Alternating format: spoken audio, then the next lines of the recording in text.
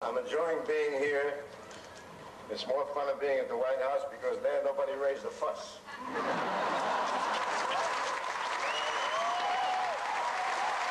I wish you great success in your endeavor. And I hope that you all live to be 400 years old and the last voice you hear is mine. But Sinatra has refused to sing in New Jersey for more than a year because of a dispute with the Casino Control Commission over a game of blackjack at the Golden Nugget Casino.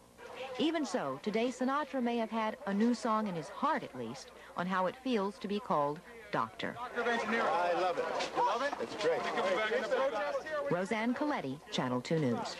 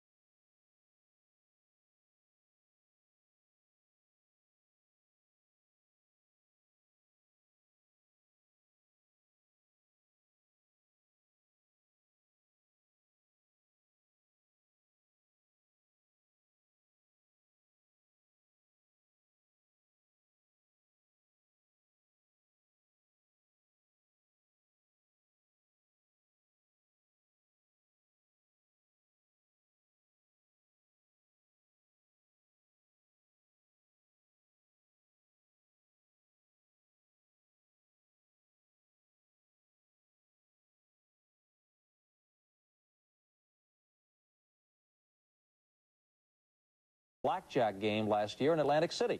Rosanna Scotto tells us now that the graduates at Stevens Tech and their special guests were on best behavior. It was not too long ago Frank Sinatra vowed never to play in New Jersey again after he and the Casino Control Commission had a run-in. But today he returned to his hometown of Hoboken not to perform. The chairman of the board became an honorary doctor of engineering, thanks to the school he always dreamed of attending. Growing up in Hoboken, Sinatra wanted to become a civil engineer and attend this school, the Stevens Institute of Technology. Instead, he went on to become what this school calls an engineer of song, and that's why they gave him this honorary degree. This is quite a day for me. Earlier today, Sinatra received another honor, this time at the White House. President Reagan gave him the Medal of Freedom. I'm enjoying being here. It's more fun than being at the White House because there nobody raised a fuss fuss he did. About a week ago, more than 100 students protested against Sinatra receiving this honorary degree because they said he was not an engineer.